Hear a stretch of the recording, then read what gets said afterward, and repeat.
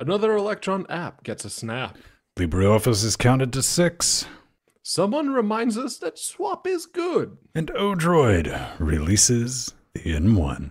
All that more coming up. And yeah, it's another great day for Linux, everyone. So let's go.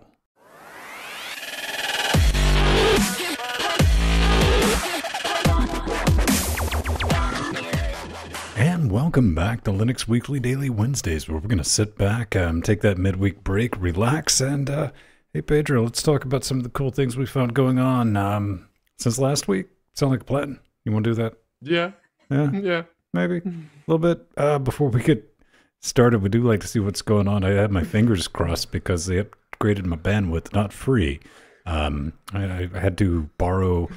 It's strange, Pedro. I, found out that there's companies that loan you firstborns because I didn't have a firstborn to give them, and um, they haven't come out here with a new hardware for it that they said, but they've reprovisioned it. and We're doing the show right now. It should lead to new things. What are you up to, man? What's going on new in your life?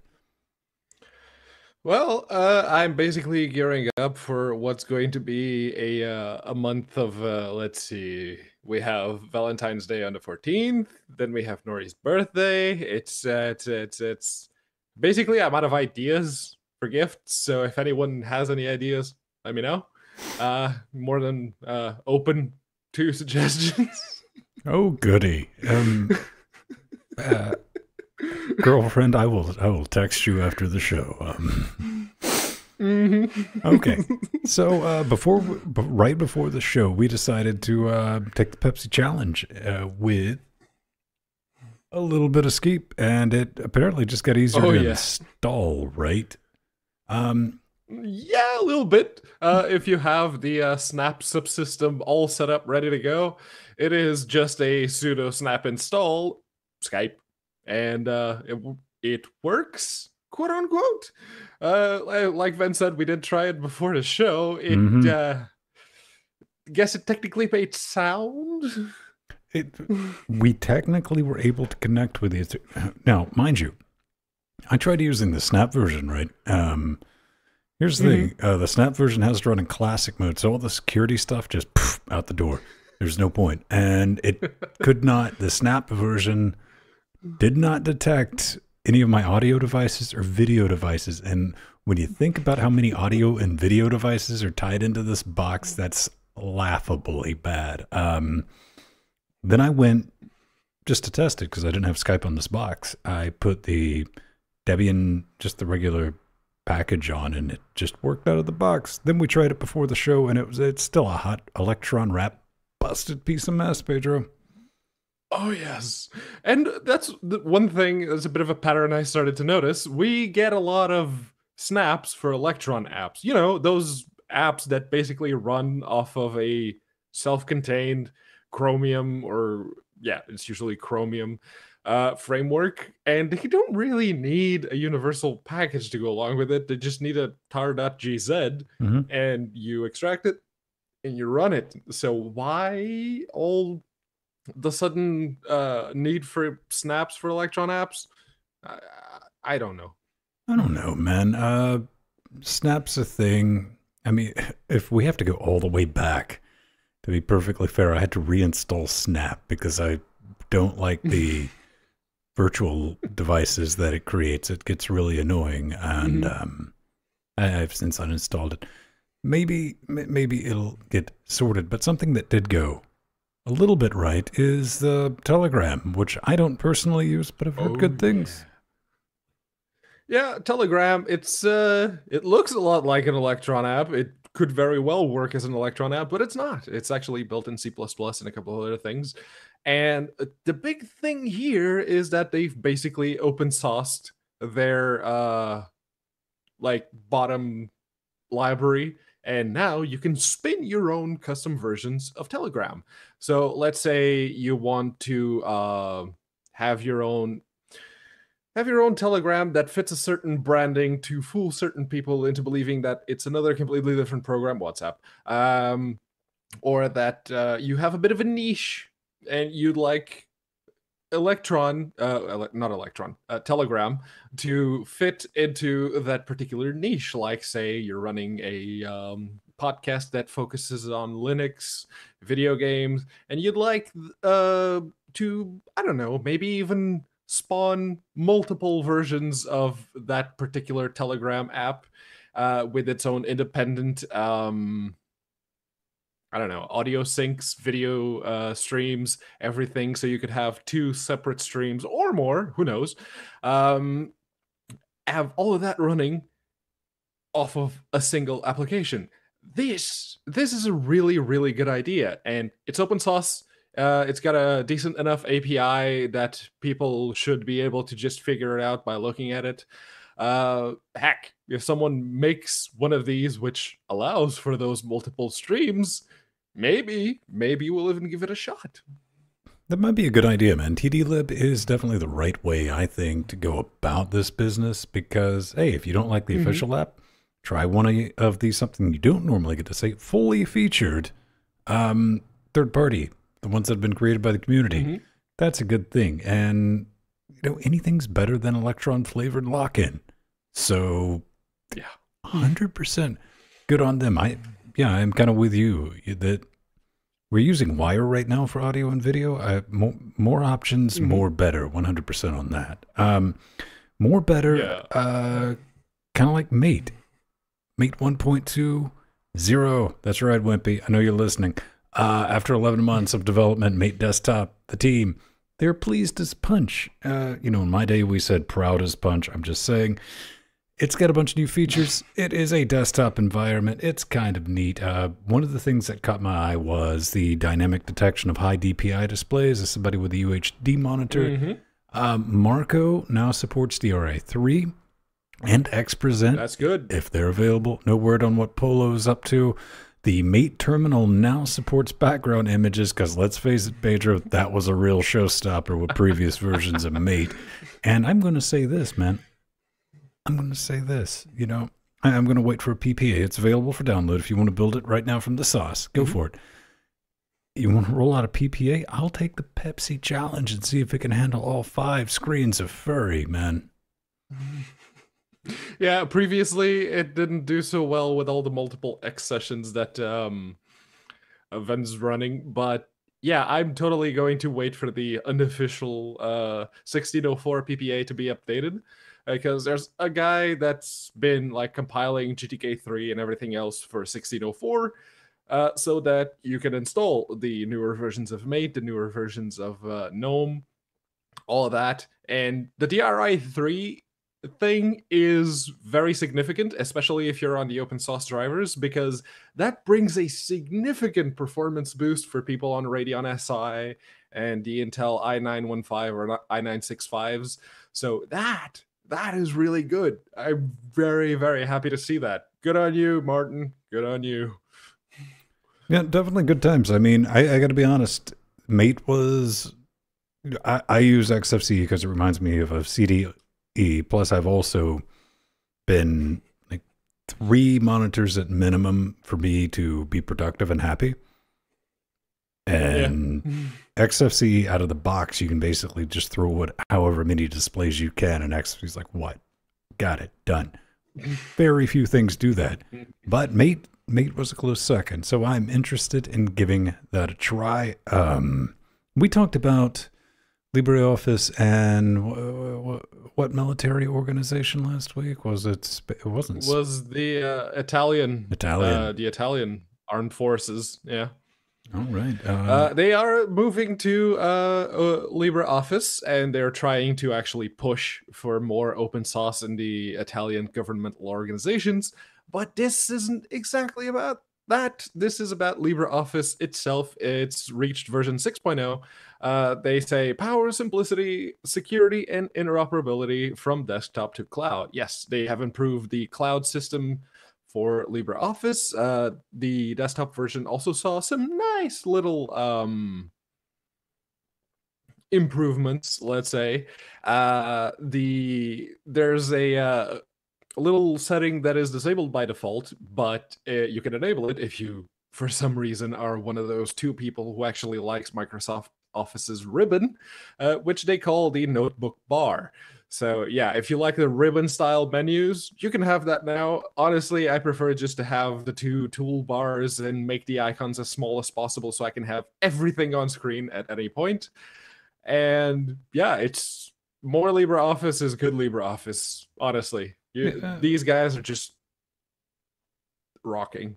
I think they're definitely doing a good job on that, man. The open PGP keys can be used for ODF documents now. Uh, mm-hmm. Upcoming release for the LibreOffice Viewer for Android, you'll be able to create new documents, offer tab-based toolbar and formatting options, bunch of cool stuff. You can use your camera for um, locally stored or in the cloud and stuff like that. That's pretty cool. Mm-hmm. I'm digging that. Um, they do kind of warn. They're like, hey, man, uh, LibreOffice 6, it's here, it's thing, but you might not want to deploy it on your enterprise systems just right now. We got some packages just for that. Mm. So, yeah, uh, I'm 100% with you. They are doing good, but um, it won't die. SC Media, all this business in our show notes. Mm. Attackers have exploited another critical as opposed to non critical Adobe Flash Player zero day bug no patch yet. And all I got to say to you is I didn't even read this stupid monkey article because in 2018 you use Flash, you deserve what you get, period, 100%. And what's that? Oh, there's that one site that you simply must use, uh, but because they only support Flash, well, you know what? Too bad, you know, because you need to ask yourself this why are you supporting a site that just clearly doesn't care about your security, man? Mm-hmm. Uh, but my anime waifu, I'm sure Mir is devastated because of all that anime he won't be able to watch on Crunchyroll. That's one of the last websites that still holds on to Flash for some reason. But yeah, uh, your anime waifu is going to give you more than an STD if you keep on using Flash. Just saying. This bit of news actually comes from um, a Korean uh, security firm they've been uh, conducting research on North Korea, and in doing so, they found a very significant exploit. It's a zero day, so you're basically boned uh, if you're still running Flash. And like the article mentions, there is no uh, patch just yet. So stay away from Crunchyroll for the time being. Indeed. Maddie does point out that uh, the patch did land today. Coming up next is a defense of swap common misconceptions because it bears repeating, and this is another um, good write up about what's going on with it. Because you know, Pedro, some people they they're uh, swap adverse, and uh, it's kind of weird because I, some people just simply refuse to accept that swap's a good idea. Heck, you know what? Most people don't even understand what swap is, and you know, if you use mm-hmm. swap in the spirit intended, it is good. It's great. I mean, it doesn't prevent disk IO from becoming a problem under like memory contention or anything. The kernel wants swap. It wants to love it. And like, well, you need to mm-hmm. explain. Mm-hmm. No, you need to go to this web zone where it tells you. But uh, what, what's what's your favorite misconception uh, that uh, it's going to cause your uh, everything to explode? It's going to eat your SSD up, or I mean, I've heard it all. Yeah. Well, that's not a misconception. It is. You're actively writing stuff that uh, usually would go onto RAM if your RAM is a little too busy, or if there's if even if like the buffer is full, it will start swapping because hey, the buffer is full, so the RAM isn't catching up. And yeah, it is. It will if you have your swap partition or your swap file in your uh, SSD. It is going to wear it a little faster. And yes, there's also a chance that it'll slow down your system if you run out of RAM or the buffers are full and the system needs to resort to your local storage to use as RAM. Yeah, that's inevitable. But I'd much rather have a system which slows down when it's being hammered than one which zooms along until it crashes. That's no one wants that, right? Well, guy brings up some really good points about the operating system, especially the Linux kernel, is looking for swap. I mean that it mm-hmm. expects it to be there, and it's 2018, man. If you get an SSD, if I cannot burn through SSDs, you're not going to burn through it with a swap partition. Go ahead, make a two gig swap partition. It won't hurt anything. Um, so What do we got? Two more things. One thing we want to touch on is high five. You want to give me a high five, Pedro? uh, over the internet, I don't think that works. Okay, the first Linux no, Ready is... RISC V chip. It's the world fastest, world's fastest. World, a lot of worlds in this. Only Linux capable SoC 4.1. Oh, it's RISC-V. Uh, what do we got? Uh, mm-hmm. 2 megs L2 cache, 64 bit DDR EEC, gigabit Ethernet. Uh, ooh, woof. It's built on a 28 nanometer processor, but I was, it still kind of had my interest, Pedro, until I got down here. The development board's going to run nine ninety nine. So not only is it wicked expensive, it's also evil when it does handstands. oh yeah, and you can see just how small that thing is. It's not as small as a Raspberry Pi, but you can see there's like a micro SD adapter on the bottom right there. There's a couple of USB ports on the top right. So yeah, it is almost Raspberry Pi sized, uh, but it's running RISC-V. And if we've learned anything from the Falcon motherboard uh, slash chipset from a while back, is that RISC-V chipsets and architectures they're not cheap because I'm guessing it has something to do with the fact that they're not exactly being mass produced right now. Although a development board like this with um, RISC-V at the heart does bring some advantages, namely the people who like to tinker, the people who like to, I don't know, create new things. Maybe they can find a use case for which RISC-V is really, really awesome and it beats ARM and it beats x86, 64, and it beats everything else. I don't see it, but maybe someone else will. Hmm. Quite possibly. Uh, it's, it's out of my price range. Uh, thousand dollars for mm-hmm. no a thousand bucks that's a that, that's a bit if i'm even thinking about a thousand dollars I, I i want more street cred i'm looking at that power 8 development board and bring that up yeah yeah I, I want straight up moon technology for that kind of money so uh not in Soviet Russia because they decided to call this thing LKRG, which to me is like, really, guys? Really? Because it genuinely sounds like an organization that might come disappear you in the middle of the night. What is it? You never heard of it? Oh, it's yes. a loadable kernel module that perform runtime integrity checking of the Linux kernel. Its purpose is not to pass butter. Nay, it is to detect exploitation attempts for known and unknown security vulnerabilities against the Linux kernel and attempts to kind of block them. So uh, I'm guessing it doesn't automatically flag PSP or IME.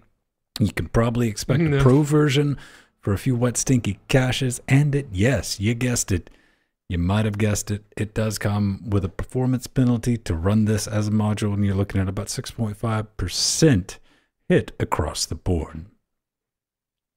Which is not as bad as some of the expectations between uh, Meltdown and Spectre, but we are living in a world uh, with Spectre and Meltdown running rampant in the wild with no surefire patches in sight. There have been some mitigation patches, but that's about all you get. So the current version of LKRG is bypassable by design, quote unquote, as they put it. Um, but I'm not entirely sure because I was reading through this and it's like, this sounds a lot like Secure Boot do we really need a Linux version of Secure Boot? I don't I don't think so. I don't know, man. Maybe I'm wrong. On the desktop, maybe not. Enterprise, something like this. Listen, there, there are people out there that just called you an idiot to your face um, over the internet, Probably, which is dangerous. Yeah. um, simply because it, it's peace of mind, I guess.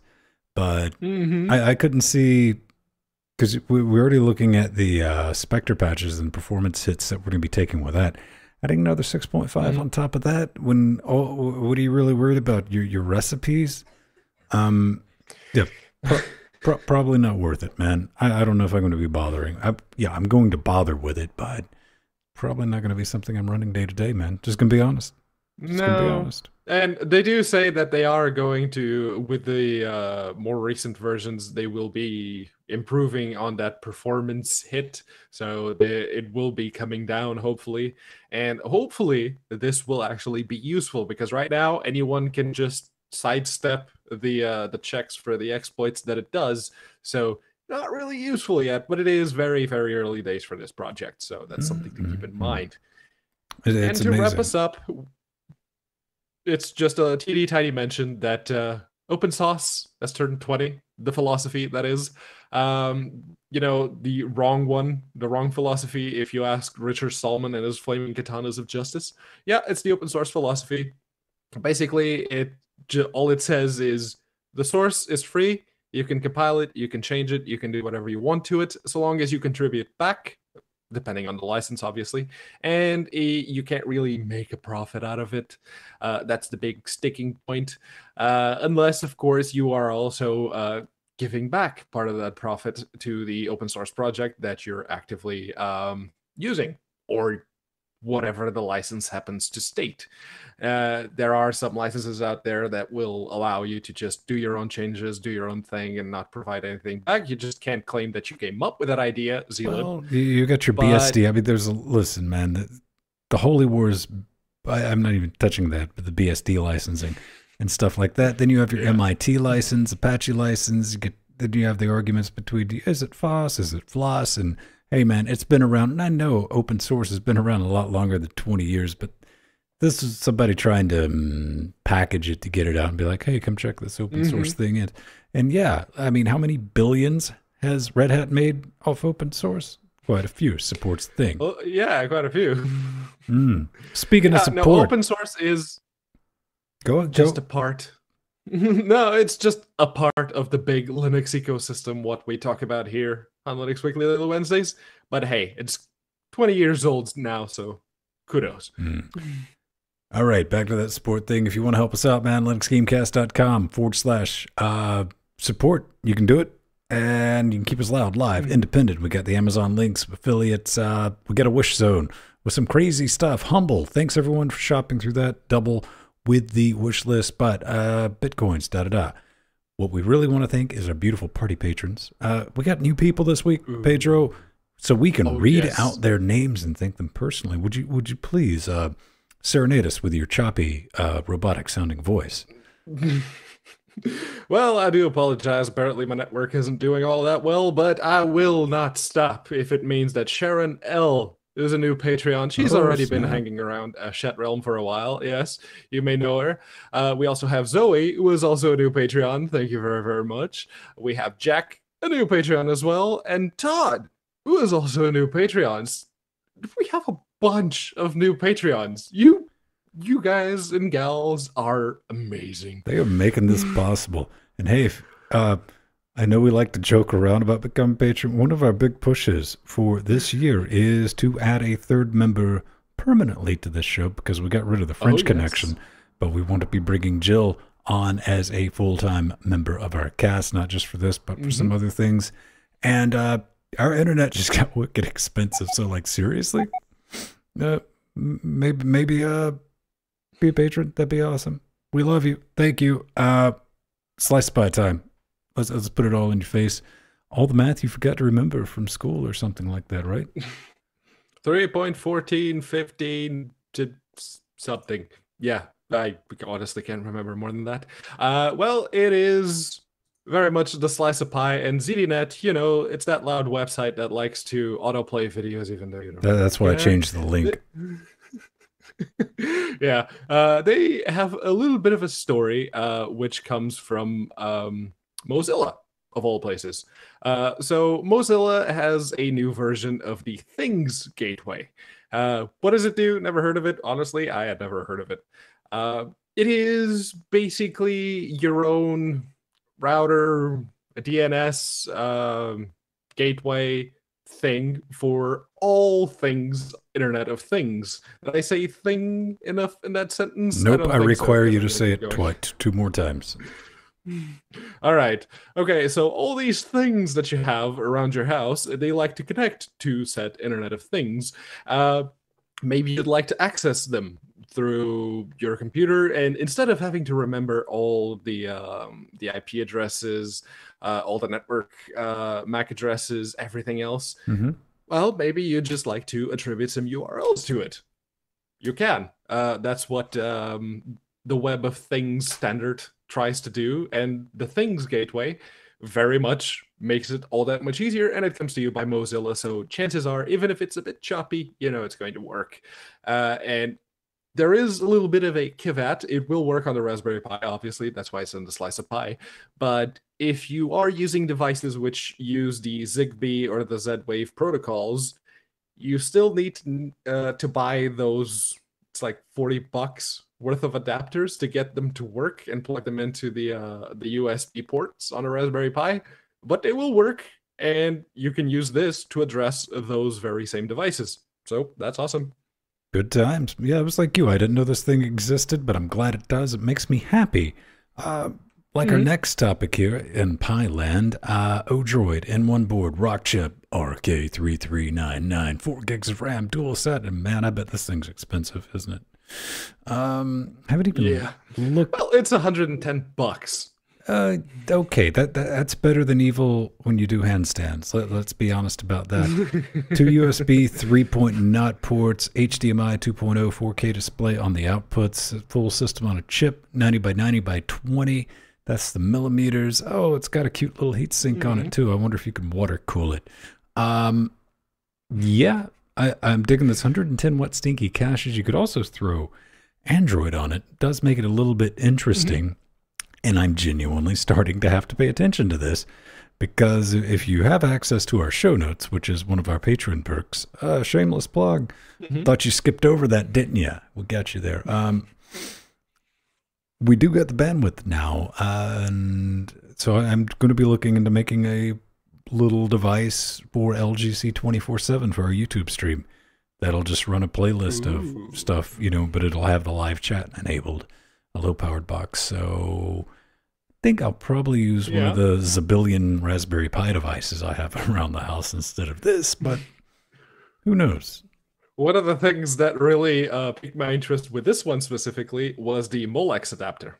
Mm. Yes, it's got a Molex connector on the board. It's like you're looking at it, it's like, why do you need a Molex connector that oh right. Two set of devices that you can connect to it you can run them both off of that single Molex connector. So, yeah, that explains that. That's All one right. of the reasons I've kept my uh, 3DFX Voodoo 5 5500 dual GPU card is because we're talking like back in the 90s. Still required a Molex plug on the back to power it on top mm-hmm. of the HEP. 12 volt rail, man. Amen. It's there. Things had to get done back then. Uh, beautiful people, that's going to do it for the show. But before we get out of here, we do like to talk to you, and we do hope that you like to, uh, you know, give us a little feedback. Tell us what did right, did wrong. Maybe get some questions. I don't know why you would ask us, but hey, we'll do our best to answer it. And the easiest way to go about doing that, linuxgamecast.com. Smash that contact button, fam. Wow, that felt dirty. Um, share with us your hints, thoughts, allegations, and things better left unsaid. Just bring it. Uh, if you want to do the Linux Gamecast Weekly. We got a show going on about that. Jordan throws down the Canadian himself. Will give you relationship advice free of charge. I wouldn't take it, but go ahead and do it. Game developers, just just get that together. Didn't have much this week, but then again, I was kind of busy, so this is something I do want to point out. If you're going to mm-hmm. send it, send it through Patreon. You're going to get it on the show. Period. This this is the best option because it goes out to all of us. Um, last but not least, what I didn't have time to do is dig around in the YouTube comments section. So you're looking at like a 10% mm hmm chance coming through. But real quick before we get out of here, because this comes from RK. And RK, yes. I, I asked last week, man, because we were having genuine problems with the NVIDIA 390 25 drivers mm-hmm. and kernel 415 and Chrome just pooping itself. And I was like, but turned out Firefox Quantum, uh, no pooping was to be had. It, it, ran fine, ran swimmingly, no issues whatsoever. Now, right. unfortunately, I found other issues on top of that, which has caused me to revert back to 414 with the um, 380 stable-ish. 387 point something. Yeah. 387 or 380? Yeah, 389. So but I did ask last week, what's a good way to mi- migrate, because I have everything tied into Chrome, Chromium, and Chrome Beta, over to Firefox. And he sent me uh, to this site. He's like, hey, man, go check this out. And it's from How To Geek. Mm-hmm. Too easy. Boringly easy. I, I was a little. Yeah. I, I sit down and I was like, hmm, all right, well, I'm going to get 30 minutes of fun out of it. Nope. Um, apparently, Nope. there's a thing in Quantum. You just go to all bookmarks, import data, and it's like, hey, man, I see Chrome. Would you like me to import that? You hit boop. Uh, I booped all the things, the cookies, the browsing history, the save passwords, the passwords, bookmarks. uh, That's what. Yes, the passwords were exactly what kind of surprised me because I Mhm. know, uh, I knew that uh, Firefox could import cookies, history, and bookmarks from other browser. Uh, anyone who's ever dual booted in their life, like I did back in the early 2Ks, it very much was kind of a lifesaver. It could even import from your local Windows install. Hmm. I did not know that it could pull the saved passwords. That right there is a big game changer. That was pretty cool. I did it. I tried it. It worked. I've been doing my best to use Firefox. I'm still using it like right now. Um, Firefox is different. It does some things. No, it does one thing that was genuinely I thought to be stupid. Okay. Now I, I don't want to hate man from anyone because I go back and forth. I don't have. I, I don't latch onto anything. I latch onto what works currently at that time. Um, no global zoom, which we discovered. Yeah. That that that was dumb. I forget it who it was in our Discord chat that pointed me. It was like, oh no, about config and adjust a CSS thing. It's like, okay, for me, and I'm sure for anyone listening to the show is like, oh well, that's not too bad. Yeah, but try to tell anyone else like how to do a global zoom. It's like, but Mhm. there's a plugin. And it's like none of them work right for quantum. And in Chrome, this is just a setting thing. You go in go global zoom, boom, because UHD display. Another thing that this is just an irritating thing, Pedro. Is a uh, perfect example. I go and check like DSL reports, the charter form, right? In the mornings. It's just part Yeah. of so in the super bar, the bookmarks bar on Chrome or on Firefox, I don't do a drop down or anything like that. I just type in DSL and that should take me, you know, it's going to pop up DSL reports. Now in Chrome, Chrome has figured out, you know, that it's not DSL reports, but I go to this certain page on DSL reports constantly and it Mhm. moves it up in the ranking to the top. Chrome's chewing on glue sticks on that one, buddy. It, I, I mean, I'm sorry, not Chrome, but Firefox, yeah. Is. It, it refuses to do it. So I keep going to expecting it to be that top result and it's always the second. Admittedly, yeah, you could just change it to the bookmark being that actual page that you visit. hmm That would actually push it up to the top because it, uh, yeah, that's one thing that Firefox does. It, uh, all the bookmarks have priority when you start typing a, uh, a URL into the bar. So yeah, it's honestly I've been using Quantum in the laptop for a good few months now, and well, about a month and a half since it came out, and it works. It works really well. I'm digging it. It's Yeah. fast. I can rock on with it. Um, going to continue using it. it. It's different. It is so much better now that they've switched over to the, the whole quantum business. Uh, kudos to the team and Mozilla. Keep up the Mhm. good work. Um, hey, we survived this just barely. Uh, hopefully Gonna next have week to catch fire. Hopefully next week it'll be a little bit better. And yeah, n- no major explosions. All things considered, lovely people. We will see you then. But until, let's roll the credits. Yes. All y'all lovely people can have your name right here. If you help us make some really insane things. Help us finance this uh, horse and buggy show. Yeah. yes, fires will tend to sprout around your house if you are watching either Linux Weekly Daily Wednesdays or Linux Gamecast Weekly. I I'm biased, but I totally think it's worth it. Uh, oh man, Mir's have Mir is talking like some deep knowledge here. Everyone, every, everyone needs to stop and reflect on the wisdom, the sage wisdom. two years, two years, and it caught fire. Oh, it's caught fire before. Come on, we had a French person on every week for a while.